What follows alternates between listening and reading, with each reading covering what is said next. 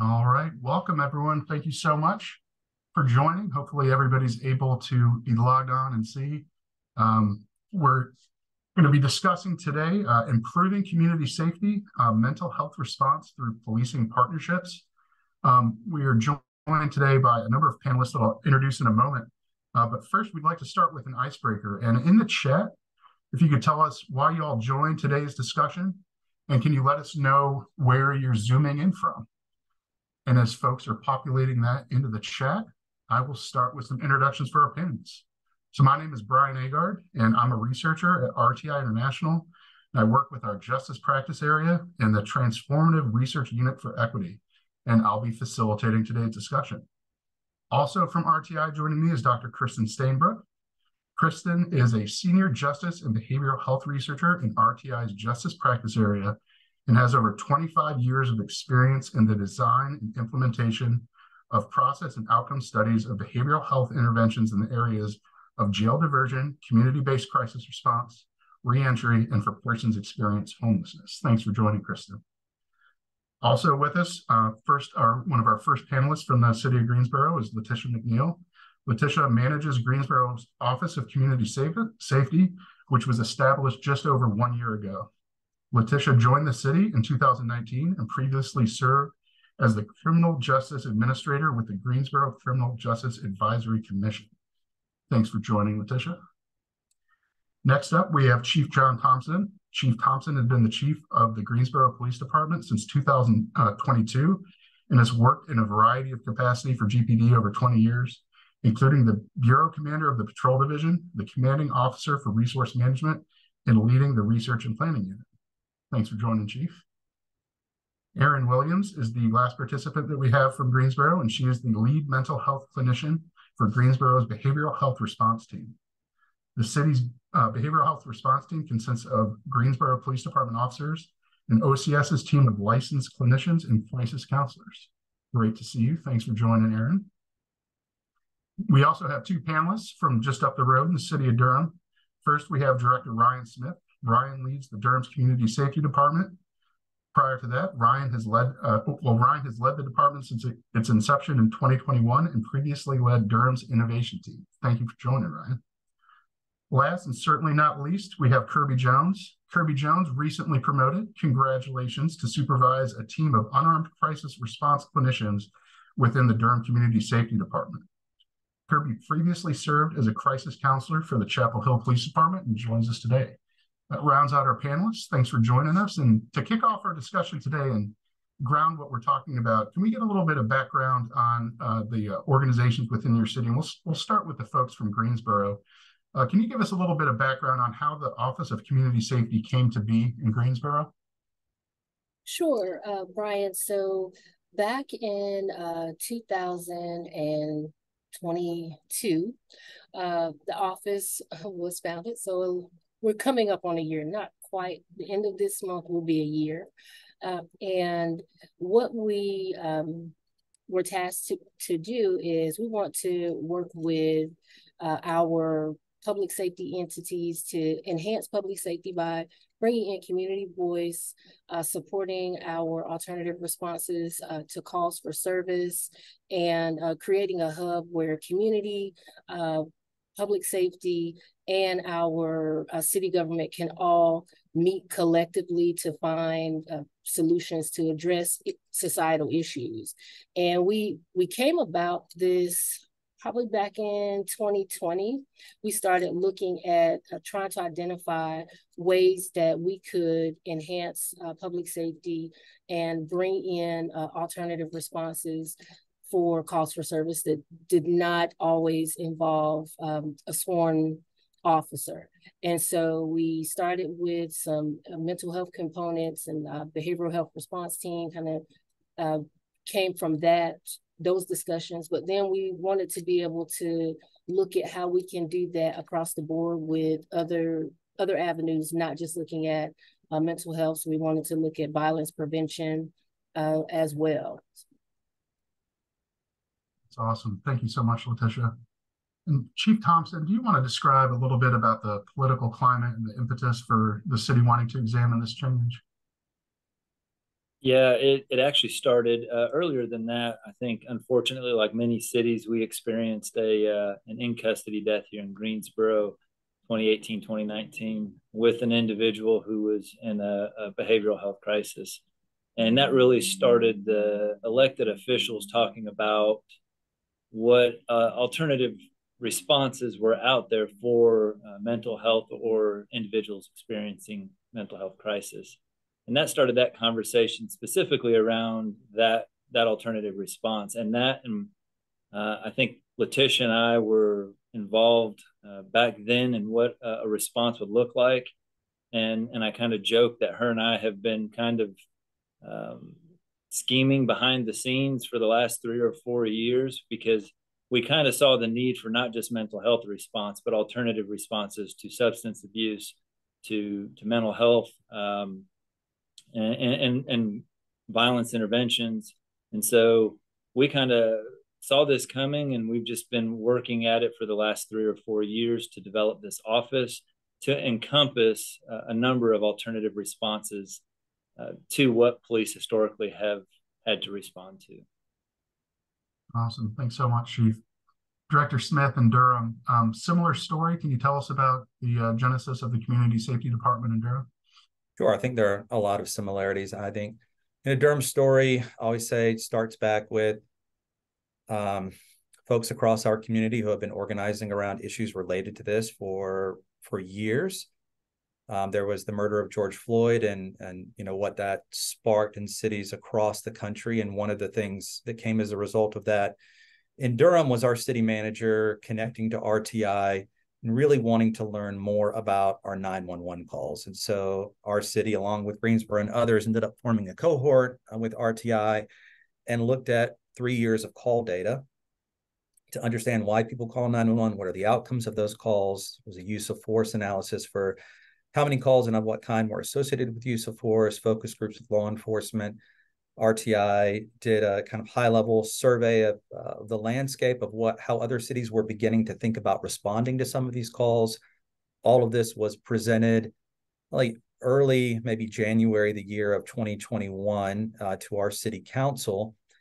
And then we had a new city manager, our now city manager Wanda Page, who received all of that, um, all of that data and research from RTI.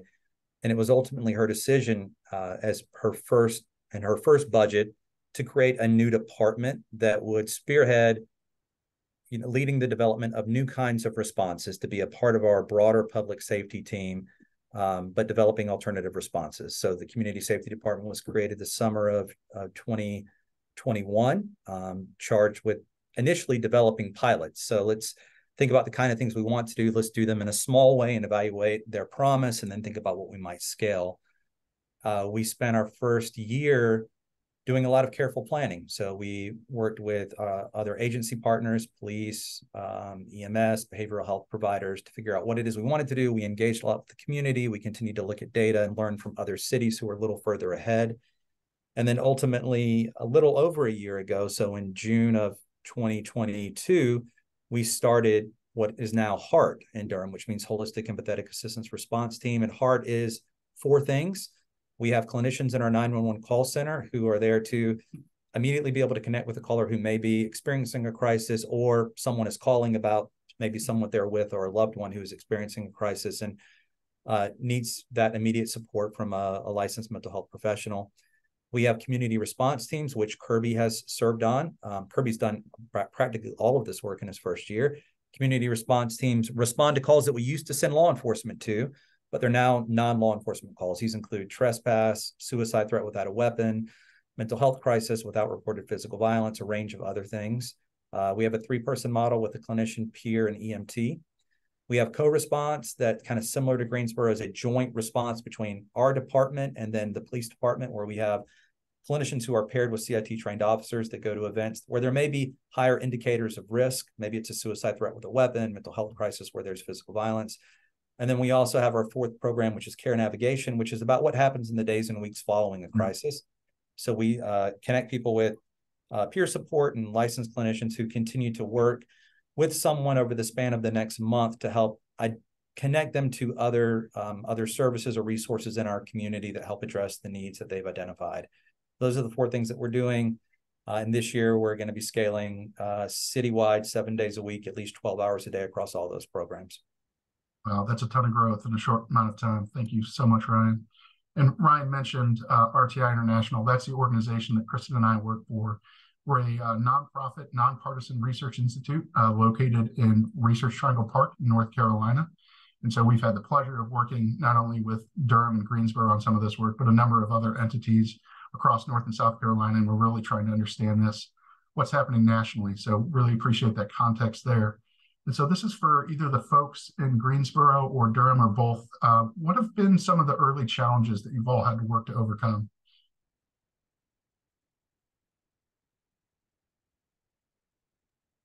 Let's I would say uh, some some of the early challenges that that we had to to work to overcome were one, uh, how we wanted to actually implement this this uh, level of care. We uh, initially started out with a, a, contracted provider who would respond to uh, scenes after police had had uh, a level of engagement with uh, a person needing services. And so we found very quickly that there were some issues uh, with that type of response. Uh, we we saw that you know there was frustration on um, you know from a community standpoint. There was frustration from uh, our officer standpoint, and then there was no follow up uh, with service coordination. And for us, that was a big part of what we were trying to do is figure out a way to connect folks with uh, the resources and services that they needed in the community. And we wanted to be able to measure uh, and track the that that was being done. And so that was uh, one of our biggest uh, challenges. But from that, we, I mean, it, it created a great opportunity for us to uh, dig deeper and like Chief Thompson said earlier, you know, we've been behind the scenes working on this and then we were able to sort of research what was going on across the country and how other agencies were responding to similar calls for service. And it allowed us to really develop a model that was able to uh, be effective here in Greensboro by having our uh, clinicians co-respond with our law enforcement officers and then having um, our clinicians to also be able to do that follow-up um, with the persons in crisis afterwards to connect them with services and have uh, the outreach coordinator whose uh, responsibility it is to help you know further connect those folks with uh, other quality of life services whether you know it may be something related to mental health but then also uh, substance use disorder and also um, homelessness or, or uh, employment opportunities and things of that nature thanks Letitia that's really helpful well, I just want to second for those who are, I think one of the big decision points for cities is develop this capacity in house or to outsource it. And like Greensboro, and in part because we learned from Greensboro's experience, we made the decision to treat this like we would any other crucial public safety service, which is we need to develop this capacity in house. I think that's crucial for um, it's crucial for culture building. It's crucial for accountability. I think if we really want um, our we call them alternative responders, but we'll, you know, hopefully we stop in time. If we really want them to be viewed by other first responders as kind of a part of that broader public safety team, then I think it's crucial that they be city employees. Otherwise, I think it seems like they're apart from and other than. Um, so I, I, just want to name. I, I think, I think broadly, it's not as challenging as maybe some who may might be considering this. It's not as challenging as it might seem, and that's in part because there are enough cities that have done it that are happy to share like the criteria that they've used to like identify yeah. calls and to help address some of the concerns that are natural in any city considering this is like well is this safe to do and there's a ton of evidence and growing evidence that yes you can send responders to calls that you used to send police to and you can do that in a way that's consistent and appropriate with safety and addressing the needs there's a lot out there that can help cities jumpstart this um, i think one of the things that is always challenging, probably in any city, is navigating the politics of it. Mm-hmm. Um, and when the narrative is not in your control, so it, you know how council members or how the public may talk about this work may be different than how it is positioned within the city. Um, in Durham, we've worked really hard to develop a strong collaboration, for example, with the police department. And sometimes there are things beyond your control about how how members of you know how how residents or members of the public may talk about or position the work. And so i think we're fortunate here to have strong leadership in the police department that's been very supportive and are working to continue to position this work in a way that we're a part of a team.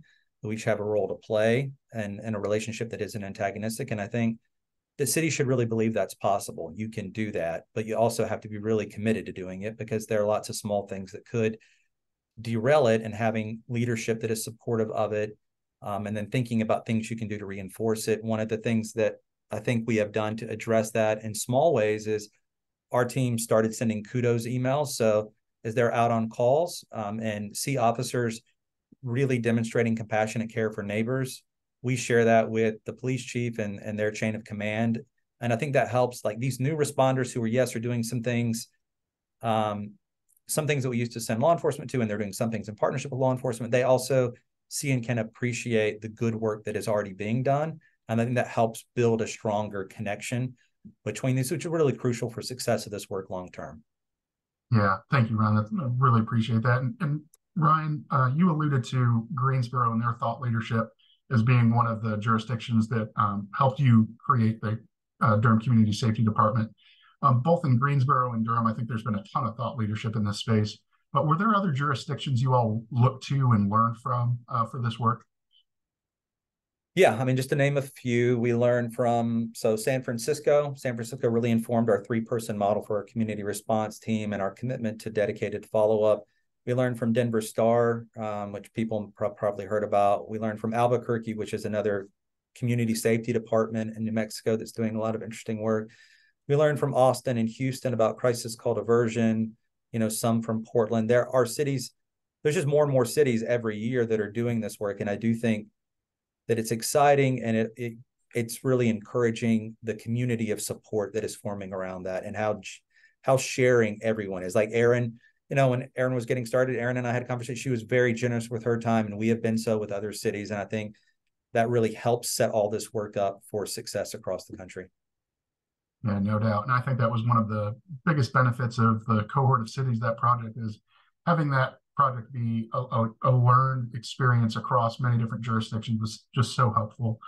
And a little bit ago, um, Ryan and Letitia mentioned some of the misconceptions of the work and what it looks like actually out working in the community. So, Erin, Kirby, can you talk a little bit about what are some of the common misconceptions you hear about the work?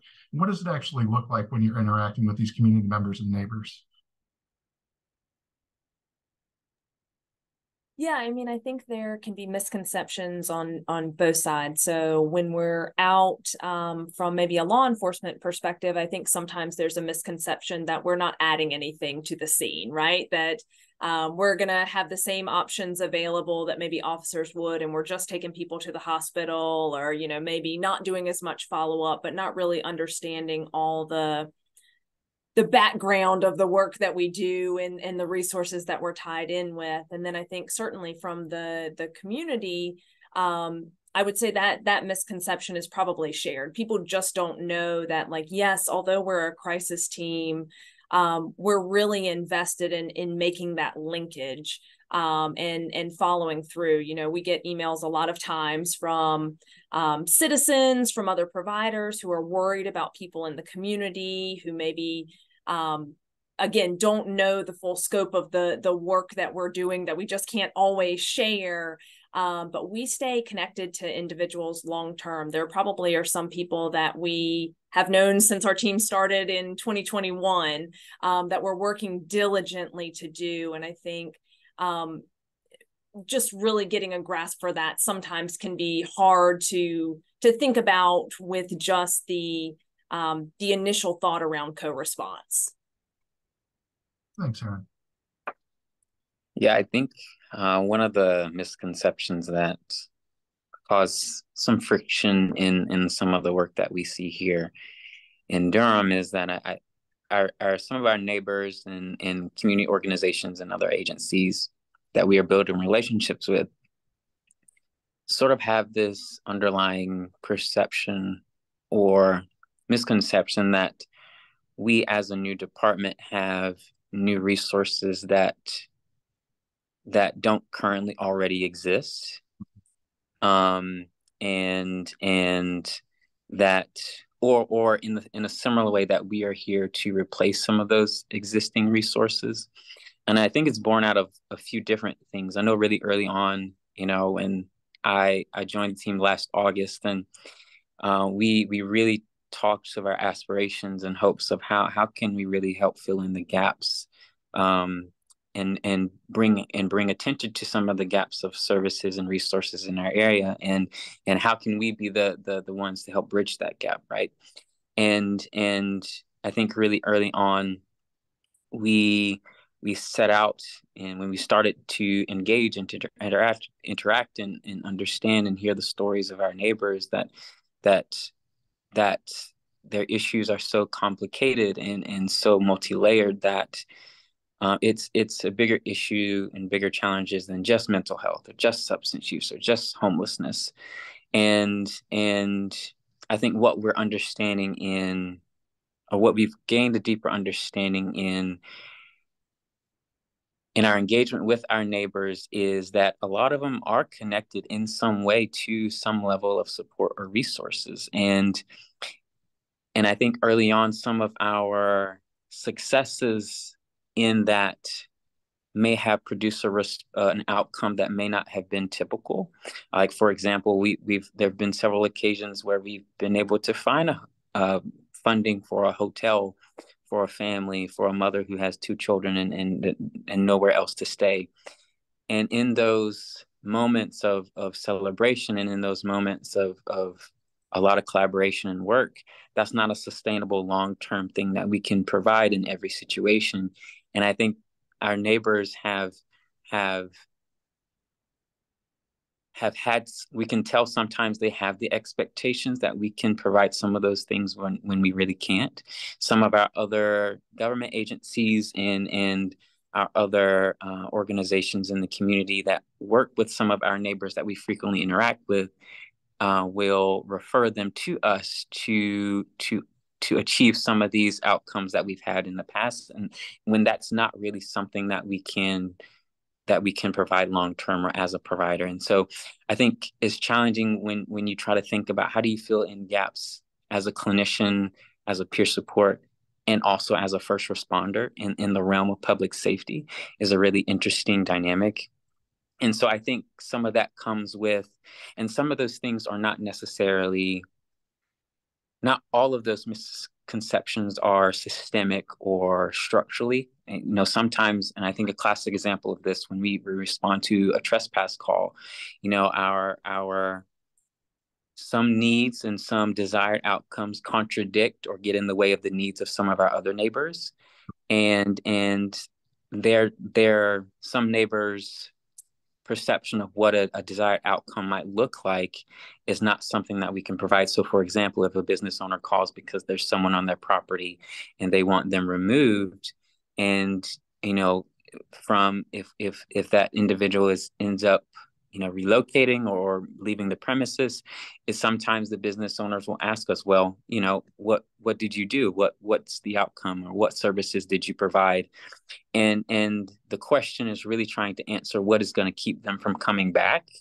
And that's not really that's not a uh, that's not something that we can necessarily guarantee because as as we are working with our neighbors there's still a lack of mental health accessibility there's still a lack of of housing and, and that's not something that we can kind of just magically sort of put in place in those moments and so uh, it's interesting trying to deal with those expectations and and and as we've grown over the last year or so yeah, Kirby, thank you so much for that really thoughtful reply. And we're keeping an eye on the question and answers. We're going to try to address as many of the questions from the audience as we can. And one that came in as you were talking, Kirby, and I think this is open to anyone, but especially for Kirby and Erin who've been out in the field.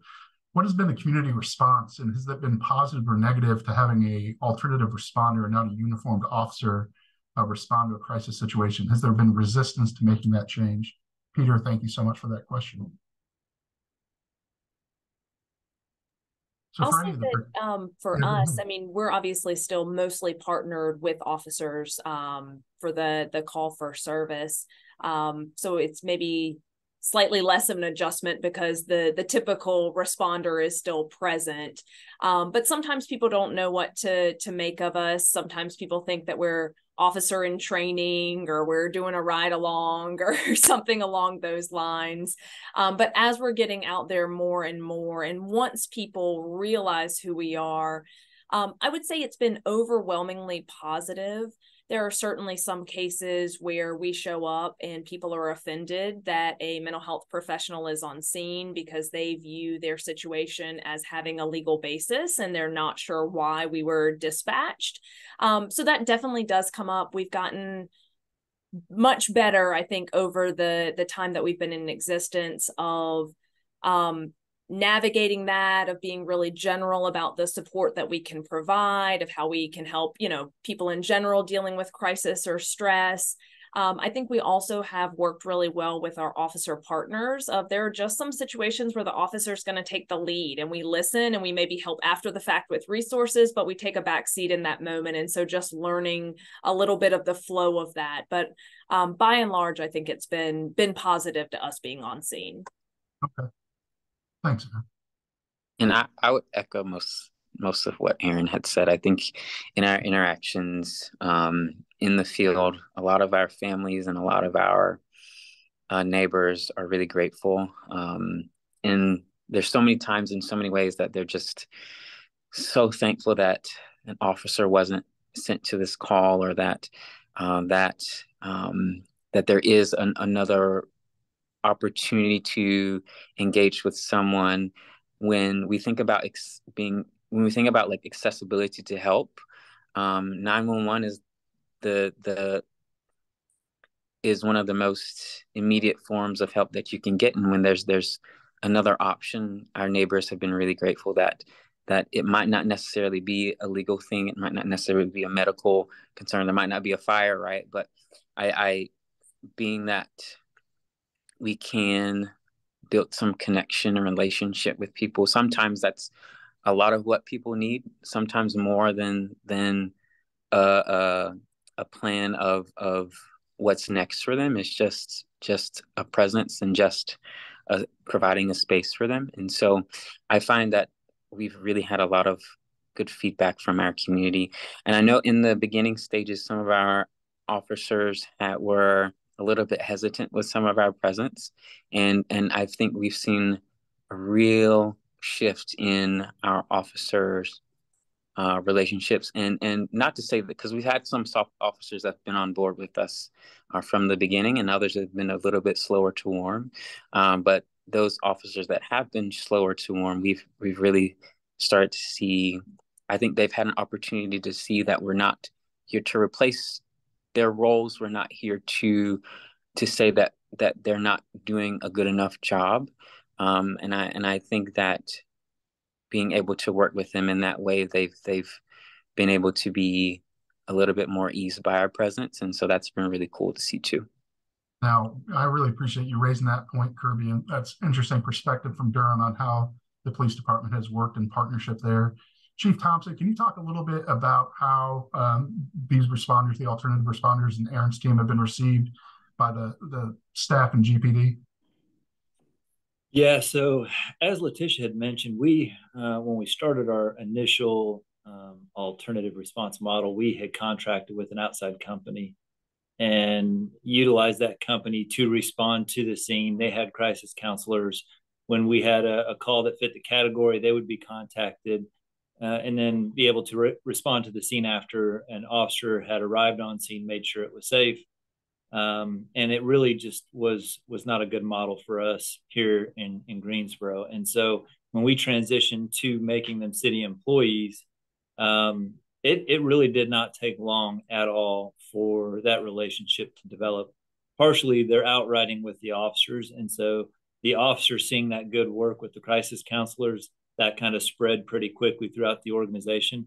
But for our organization, when you were to go out and talk to officers and make lineups, they know they are not the best trained, qualified individual to handle somebody with uh, a mental health crisis. They they know their tool belt's limited. They've got an option of hopefully they can take them to the hospital if they're compliant, or if there's a crime committed, they they could end up in jail. And so um, once officers, it, it kind of click with them that hold on a second, there's somebody else that can go out address a mental health crisis who's probably going to be more trained, more qualified, understand what's happening a little bit better.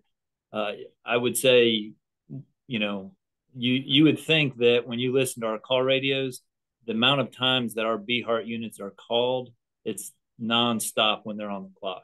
I mean, they take a couple thousand calls a year for a, a relatively small unit of, I think, seven officers and and paired crisis counselors. Um, but the officers uh, absolutely love the unit and the work that they're doing and the relationship that unit with the crisis counselors has built in the department. Um, if I wanted to lose my job very quickly, I would disband that unit because my de- my entire department would be in my office with a mutiny saying you are just insane. And so uh, it's it's really developed well in our agency. Yeah, we don't uh, we don't want you going anywhere, Chief Thompson. And a related question from attendee Erin, this one might be um, relevant to you. Lynn asks, "How are you funded, Erin?" And maybe Erin, you can make a plug for uh, further funding if that's appropriate in this venue. Yeah, absolutely. Um, we are definitely lucky that we are funded through the city. Um, I know a lot of teams are funded through grants, and that's a, a great option to get extra sources of revenue. But nice that we um, are are funded directly through the city. And yes, we would love to to get some extra funding. I think our biggest challenges as letitia mentioned when we were getting up and running was a lot about like what is this going to look like? What model's going to work for us? But now that we're established i think our biggest challenge is we don't have enough people to do the work. Um, we need more counselors to be able to answer the calls to be able to do the follow-up to be able to be present if somebody's sick. You know we're we're very short staffed and we only cover Monday through Friday, um, 8 a.m. to 10 p.m. So we're obviously missing a chunk of the call. So now that we know what we have is is really solid, I think the next step is um, hopefully, um, you know, being able to expand our reach. All right, thanks so much, Erin. I think so many of these conversations, especially as we participated in the cohort of cities, were really wanted um, to be grounded in wherever possible, an evidence base or at least at a minimum be data driven. And so, Kristen, I have a, a few questions for you. And, and first, can you please describe the evidence base for some of these programs? You hear a lot about programs like Cahoots, it's received a lot of attention. Uh, what do we know about what works and why? Because I think that's critical to inform the conversation about how these things should be expanded and um, and what works. That's a great question, uh, Brian. And really, even though uh, a lot of these programs have been around for a long time, there isn't a lot of research that actually uh, studies program impacts and outcomes. Much of the data, as Ryan uh, mentioned, focuses on enumerating the services. How many calls were addressed, what types of calls, the um, what types of services were delivered on the calls, how long they lasted. Uh, and this is all very important information for understanding the programs. Uh, there's also been some process evaluations that have looked at um, how programs have implemented and even uh, stakeholder and community satisfaction. And then a lot of these programs have relied on anecdotal information, which is plentiful. Clearly, a lot of these programs, as you just heard, are well received by the community and people value their um, participation on these calls for service. But uh, what's really at heart here is um, there is a lack of evidence for if uh, these calls for service, these responses by clinicians, co-response, peer support, however the model may be organized, do they in fact uh, provide better outcomes to calls than traditional law enforcement. And though intuitively we we believe that to be the case, there actually hasn't been any research that's really examined this piece of it, even for ones that have been around for a long time, like Cahoots. So we're just starting. There's just some recent research that has been um, looking at this, including a study that we are going to be doing with um, Durham and Greensboro. Uh, and one of our colleagues, RTI, also has an RCT where he's a research controlled trial that he's looking at a co-response in Indianapolis. Um, but for the most part, the research just isn't there that it is definitively a better uh, outcome to send a co-response or an alternative response than traditional law enforcement, even though in our hearts we believe that to be the case. So um, part of our work will be doing a study that actually will add to this evidence and and really build the base for all of the good work that's going on. Um, that's not to say, of course, that uh, have, knowing about the numbers of services delivered, they have shown demonstrated that they can be implemented. It's just really that impact piece that yeah, we it's sort of a black box. Yeah, Kristen, and, and I got a couple questions. And the first I'd like to hear from everybody, but I'd like to hear from you first. But can you talk a little bit about why evaluating these programs is so important? And also, what is it about Greensboro and Durham that make them so well suited for evaluation? Sure. Um, so, you know, as I just indicated, it's very important to understand what are the actual outcomes and are the do these uh, alternative response in whatever form they may be actually result in a better uh, impact for the client, for the community. And in the absence of knowing this definitively, we can't say there aren't any unintentional harms or impacts that might be occurring from these programs. Uh, so that is an important component of being uh, evaluated. In addition, it helps justify the expansion of these programs to other communities, especially for ones that might be not convinced that they can um, actually have an impact or they're worth implementing. And then for communities that have them, and I'm sure others will speak to this, um, it can help justify continued uh, investment in the programs in the communities and support uh, the program improvement activities. Um, in particular, I'll say a little bit about why uh, Greensboro and Durham have been um, are have been great to work with, and you know, really excited about this study with them. Um, the key for our study is having a data collection process and systems that can uh, document the 911 call, triage, and dispatch. Um, that's really at the center of how all these alternative responses work. And my colleagues and I, when we first started trying to design the evaluation, met with folks in Durham and Greensboro, as well as a few other jurisdictions that were interested in evaluation to really understand uh, what how do the programs function? What data is available? What isn't? How do the systems work? And then is there enough data to have um, statistical power to be say, able to say something meaningful? And that was the really the starting base. And the key was to really understand if um, uh, if the 911 calls uh, if they could identify eligible calls consistently and minimize call taker discretion thereby uh, minimizing potential bias in selecting who gets a call and who doesn't. And then having a system that's able to document this process. So we know about all the calls that are would be eligible for an alternative response, even if they don't get one because they're not um, you know, in service at that time, they're on another call, or you just don't have the capacity. And you, you just heard Erin talk about some of those issues. So Durham and Greensboro had these things in place. And I think that was in a large part because of the data different processes that they just described in setting up their programs, really thinking through their calls, set themselves up very nicely for this kind of analysis. Um, and uh, they have been great partners, and we're very excited about uh, getting this research started so we can begin to build this evidence base.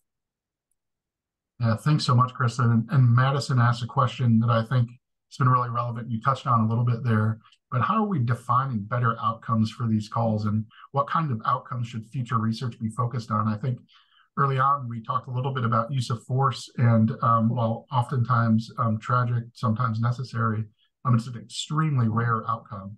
Um, so what are some of the other outcomes that folks may be interested in?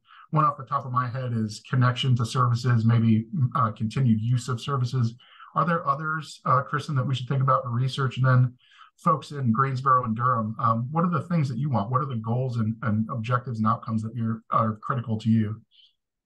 Well, I can speak to what we're looking at in our study. So we're using a quasi-experimental design. We'll, we'll compare the incident level outcomes from the call for service that receives either BHART or HART to the calls that do not receive this response. So we're looking at, as you mentioned, use of force, arrest, citations, um, reports for uh, on officers, uh, and involuntary transportation to hospitals or um, other facilities. And then we're also looking at some positive outcomes in terms of voluntary transport, because we know sometimes law enforcement actually do do that. And to the extent possible, we're trying to track service referrals. But the key for our particular study is being able to document them in both places. Um, I will also say we do have uh, a process piece of it. So we're not just looking at the outcomes of these calls, but really understanding the context, the services in which these uh, interventions are being implemented, which I believe is essential to really understanding the outcomes. Because how will you know what's good or bad unless you know, and if, if it can be attributed to the program, unless you're documenting that. And then we also have a cost piece to our study. So we'll be looking at the net benefit from each of those types of responses. Um, but there are other approaches I think that can be implemented in different communities depending on the data available. Certainly, if um, we were able to track long-term outcomes that might be something we might follow or if there was more extensive data collected at the police level about what happens there we could collect that. So it really sort of depends on the on the data that's available but we do have those range of sort of incident level outcomes eh, um, for the uh, as i just mentioned the arrest et cetera. Um, but uh, we have tried to take into account all of what uh, durham and greensboro are interested to in our assessment um, so I'd love to hear more about what they're interested in, some of the things that they they thought about. Yeah, thanks, Kristen. Folks in Durham, uh, Greensboro, outcomes that you're interested in, and and why participate um, in in this, and why is uh, evaluation important to you all?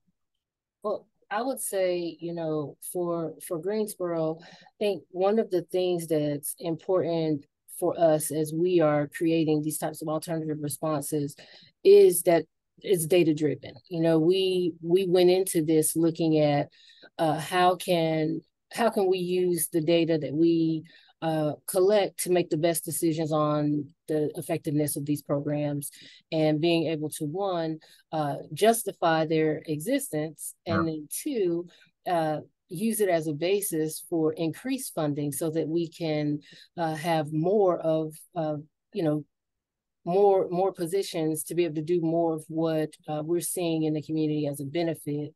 And I know specifically for for this study, I think one of the things I'm interested in is those times where the we didn't have the opportunity to have a clinician uh, or um, the co-responder uh, to actually respond to uh, the incident, but it was something that was uh, indeed a mental health call for service, I'd like to be able to show the number of times they weren't available uh, so that I can go in and again use that for justification for providing us with uh, more resources to increase our st uh, staffing capacity.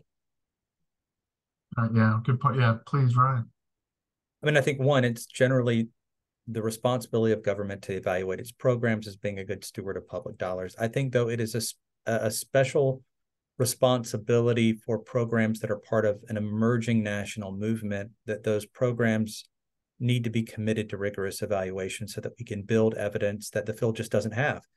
Um, and i think you know there always have to be programs that are early in a process that don't have the evidence in order to establish it right? And so cities like durham and greensboro and denver and others that are among the first cities that are doing some of this work um, both take on some risk in that, but also if we're all committed to rigorous evaluation, can build evidence for the field. I agree with everything Letitia said about some of the benefits of evaluation, but another one that is apart from um, validating the work or making a case for resources is for that program itself to get better at the things that it's doing. All right. And so we're really one of the things, one of the reasons we really supported a data driven approach is we know, and it's true, I think, of everything that government does that there are opportunities to refine the service delivery model to better meet the needs of the residents we serve. We're really interested in, in understanding what we do well, what we don't do, what we think works a certain way, but may work a different way. Um, that's all really important. I think that in some ways in Durham, some of the basic things that we need to establish are established, but there's a lot to learn about exactly how it works and opportunities to make it better. I think connection to care is a really tricky thing to evaluate for some of the reasons Kristen named because establishing the counterfactual is difficult because some of the things that we track and do are not tracked and other, you know, and the other responses were, were not available. But I think learning how to to evaluate that more and understand our ability to connect people to care and the outcomes from that care. Are we able to reduce, for example, the um, the number of people who may interact repeatedly? Uh, you know, people have people who call 911 300 times in a month. Can we, through these interventions, better understand needs, better connect neighbors to addressing those needs so that they interact with public safety less often as a result of that improved service? That's gonna that's really hard to evaluate, but one of the things we aspire to better understand. Yeah, thank you so much, Ryan. Anyone else that wants to weigh in on that topic? All right. Yeah, go ahead, Kristen, please. Oh, I, I was just going to add one more thing. Um, and that is, I think it's important, you know, as Ryan was just saying, the field is just emerging now in terms of the research. And I fully agree. You got to let the innovation happen, but now it's happened. There's a lot of different models in a lot of different communities.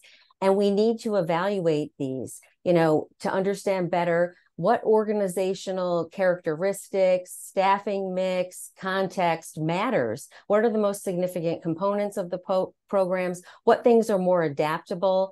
And um, that will allow for everyone to, you know, find the best fit for their community because it's pretty clear, you know, no no community there's no one size fits all for this type of program but through a broader evaluation we can bring this information together and develop um, sort of a cadre of best practices that communities can draw from. And hopefully that's moving forward now. Yeah thanks kristen. Kirby i saw you came off mute.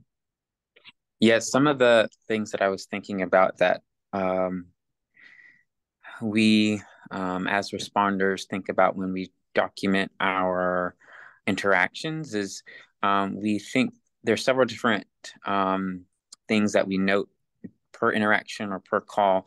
Uh, for example, we note um, if we were requested specifically by EMS or by police or by fire. Um, we document if if there was a transportation that occurred on scene and who that transportation was by. Uh, we document what supplies were given out, what harm reduction kits were given out. Uh, if there was um, any form of connection to care. And we also uh, document our own safety, like how safe that we felt on scenes. If there was any, if there was anyone harmed during our presence, was a neighbor harmed, or was a neighbor, um, was there any restraints used by officers while we were on scene?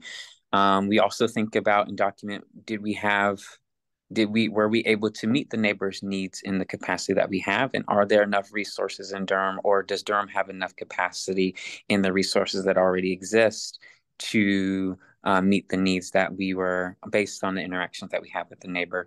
And um and one thing that i think that is um that we have the opportunity to look into is how much um, we're able to divert from in-person response at all, uh, being that we do have a clinician in the call center. Because uh, in some cases, if if that our clinician in the call center does have the capacity to dispatch police or dispatch one of our other response teams or dispatch um, fire EMS, but in some cases, in many cases where our CCD clinician is interacting over the phone, no in-person response is needed. Um, so those are some of the things that that I was thinking about when uh, thinking about some of the the things that we collect as far as our interactions with neighbors. Yeah, thank you very much for that, Kirby. And I think um, Shane, if we're able to put it out in the notes, um, Durham has a dashboard, uh, the durhamnc.gov backslash HART uh, dash data. Um, that's a really great uh, example of how they're both collecting and being transparent with data. So just wanted to call that out there. And then uh, Kirby, something you mentioned, but um, this could be answered by anyone. Um, we've talked a little bit about the outcomes of interest uh, for those in the community. Um, as you're standing these organizations up and they're newer, is there any thought and consideration, and this is speaking to several of the questions that we've gotten from attendees, about first, how are you figuring out which of these calls are appropriate for an alternative response? How are you ensuring the safety of responders acutely in that moment of response? then also, is there also this consideration for um, a cumulative uh, accumulation of stress and trauma that you'd have to protect against burnout for the long term um, best outcomes for the uh, for the responders in the organization. And so I know that's a lot, but any considerations there about just really focusing inward as an organization and making sure that these responders are being taken care of, and specifically too, also with the officers in the um, times of co-response, are there special considerations for the type of training that they're receiving to make them effective in these positions? So I think I just asked about five or six questions there in one. So anyone wants to unpack that, go ahead. I'll uh, I'll talk a little bit because I think we're we're now facing some of those questions with our team. So uh, as a community, we we felt um, eh, I'm, I've said this I think on another panel I've had with Ryan. Uh, appreciate the work that Durham has done with this, and we've learned a lot. They they kind of took a different path to get to where they are at in their programs than we did. We kind of uh, they built the ship and then took off. We we built it while we were flying it a little bit uh, in Greensboro, um, but that that's what kind of pushed us to toward our co-responder model.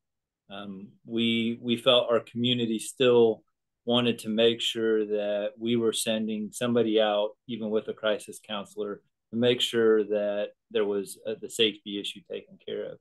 Um, but because of the success of that program, we have seen our officers rely heavily on our behavioral health response team, and they're being called frequently. We had carved out a certain category of calls that they would automatically be dispatched to if available suicidal calls, mental health calls. Uh, but we quickly realized that there are uh, different mental health components to just a, a ton of other different calls, whether it is trespassing or a shoplifter or a, a, domestic disturbance that came in where there's a significant mental health component. So what we have seen is now our agency over rely on that behavioral health response team, creating a, a real heavy load of stress on them. And so we're actually looking at some opportunities on, on how we do that, where we may have to to pull back some of their response to reduce that stress load, focus on a crisis response and then I think our next step is hopefully to develop and grow in that non crisis response category, similar to what uh, Durham has now, where they're sending uh, counselors out without a police response at all or a, a diversion at our 911. So we're, we're, we're kind of right in the middle of trying to figure that out right now as an agency. Uh, we're lucky we have some some good partners to look to for examples on how to develop that, but that for us is our, our next step in the evolution of, of this program. Yeah, thanks so much, Chief. Letitia, it doesn't hurt to have it doesn't hurt to have a chief of police in your corner on something like that. No, That's pretty nice. Absolutely not. It doesn't. It doesn't.